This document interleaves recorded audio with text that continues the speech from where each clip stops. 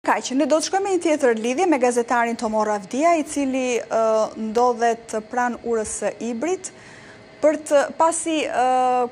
sigurisht që nëse ndodhesh në urën e Ibrit Tomorr, do të thotë që ka ka probleme, ka tensione, apo si është situata aty, duke patur parasysh dhe simbolikën që ka kjo urë, veçanërisht kur kur flasim për hapjen e urës së Ibrit. Pra çfarë po ndodh aty në këto momente?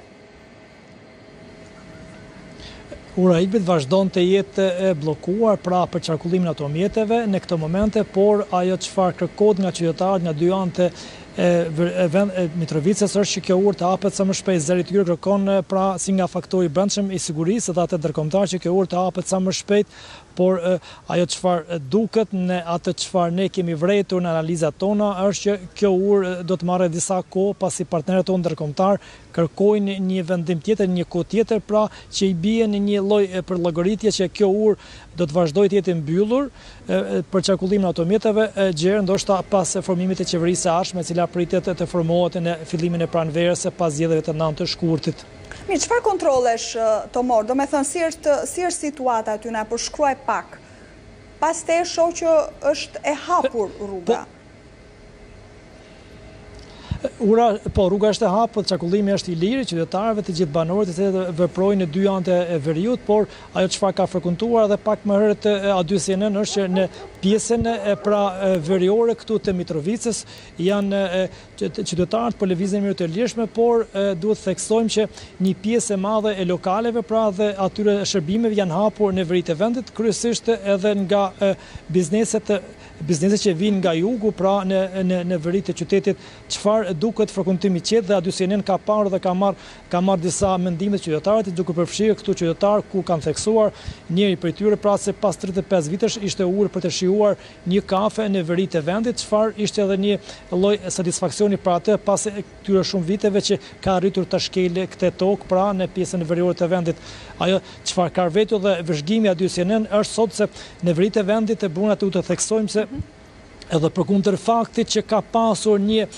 tentativë për shuarjen e strukturave paralele ato vazhdojnë të jenë prezente dhe A2 CNN ka vëzhguar disa objekte sot, të cilat po ofrojnë shërbime në mënyrë të fshehtë ose të kamufluar për qytetarët serbë të cilët dhe pakicat të cilat veprojnë, jetojnë në veri të vendit, por jo vetëm në veri të vendit, pasi në një objekt që ka arritur të filmojë sot A2 CNN, këto shërbime ofrohen edhe për qytetarët të cilët veprojnë, jetojnë falje në jug, në jug të Ibrit, pra duke ofruar shërbime.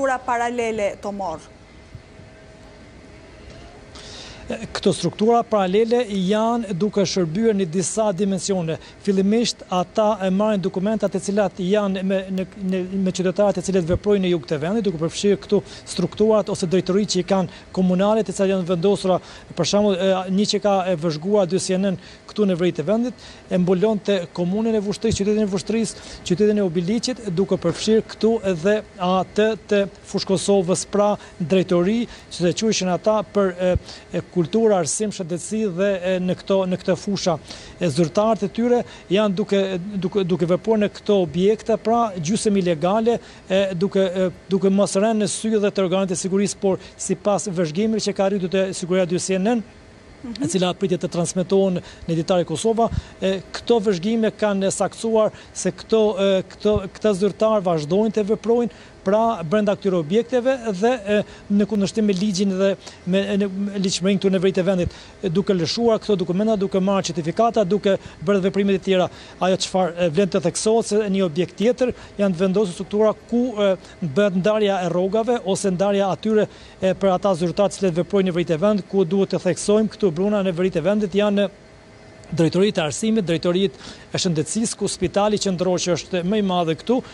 është vetëm gjysëm kilometri nga ku ne po bëjmë raportimin, ku i gjithë stafi dhe funksionon me stafe të cilët marrin paga nga qeveria e Serbisë, pra deri tani nuk ka arritur ende Ministria jonë e Shëndetësisë, t'i vendosin nën juridiksionin e Ministrisë së Shëndetësisë së Republikës së Kosovës dhe ata i ofrojnë shërbimet në këtë spital duke përfshirë këtu shkollat e mesme dhe shkollat fillore të cilat janë në veri të vendit të cilat të gjithë mësuesit, mësimdhënësit e marrin pagat nga qeveria e Serbisë por ende nuk e kanë caktuar se në çfarë forme por ato zakonisht nëpërmes xhirollogarive ose nëpërmes këtyre institucioneve të cilat Janë kamufluar në disa objekte private në veri të vendit, duke përfshirë këtu Mitrovicën, Zubin Potokun, Zveçanin dhe Leposaviqin. Të falenderoj shumë Tomorr për të gjitha informacionet këtë lidhje të drejtpërdrejtë që realizuam së bashku në Ditarin e Pasdites. Faleminderit Tomorr Avdia, i cili ndodhej në.